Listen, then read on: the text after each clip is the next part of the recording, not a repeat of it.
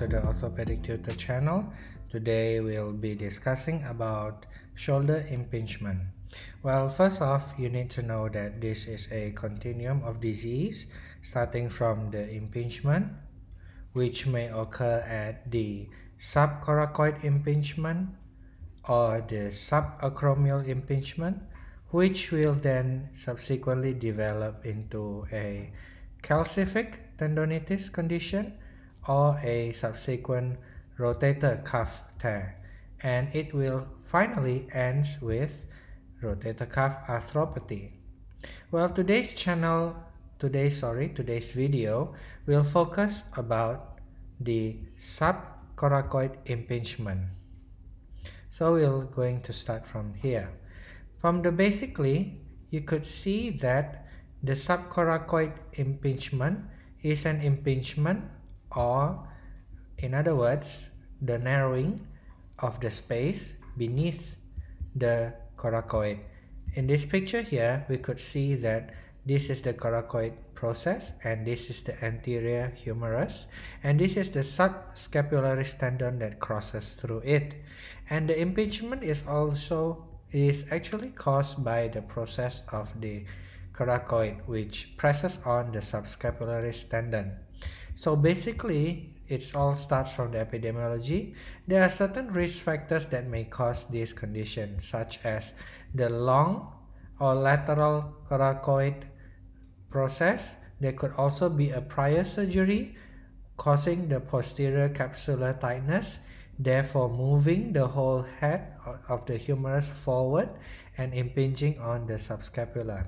There could also be associated conditions for this subcoracoid impingement which include supraspinatus tear, infraspinatus tear, also subscap tear. Now the definition of subscapularis impingement is impingement between the coracoid and the lesser tuberosity itself such as the one depicted before. Well, for the patho pathoanatomy itself, the that position the position in which the subscapularis is usually at the maximum impingement position is if our whole upper limb is positioned in an adduction, flexion, and internally rotated position. Now, the diagnosis for this condition is fairly straightforward. You need to know first from history taking the patient may complain of shoulder pain, which is usually worsened in position of flexion, adduction, and rotation. And the tenderness is also usually located over at the anterior coracoid with the maximum pain position of around 120 degrees of arm flexion along with rotation. Remember that all of these have a relation to the position of maximal impingement. So if the condition itself is caused by narrowing, then if you narrow the actual space by doing adduction, flexion, and internal rotation, then definitely you are going to induce pain. Now for the additional examination, there could be several methods that could be done, which include plain radiograph, where you're actually measuring the distance between the coracoid and also the humerus. And you could also do CT scans, which is done with the arms crossed on the chest.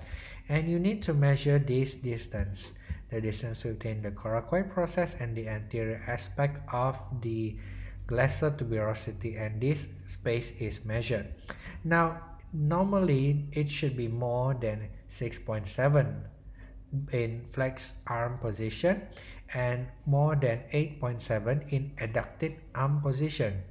Now, if it goes below 6, then it is definitely an impingement condition.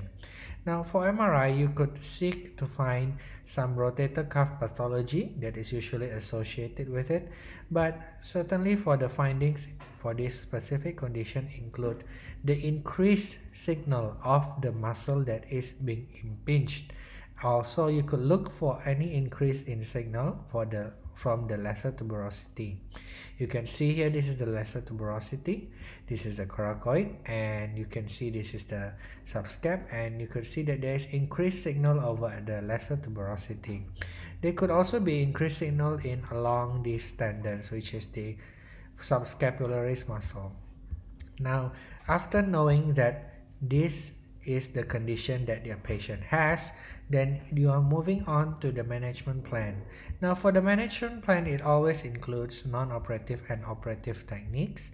The non-operative techniques is definitely the first line of treatment for this condition. Modalities may include rest, ice activity modifications, NSAIDs, physical therapy, or corticosteroid injections. Now for the operative technique itself, it is also usually indicated only in refractory cases where the symptoms remain evident and the subscap tearing is due to impingement. Now techniques vary but usually you need to do a sort of plasty.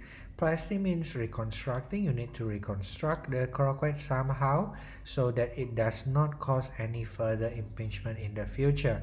And it may be done also along with subscapularis repair if there is total repair of the subscapularis muscle but sometimes you need to do an open surgery instead of arthroscopy and you could do an open coracoplasty to resect the lateral part of the coracoid process and then you need to reattach the conjoint tendon. Don't forget that along the lateral part of the coracoid you have a conjoint tendon there.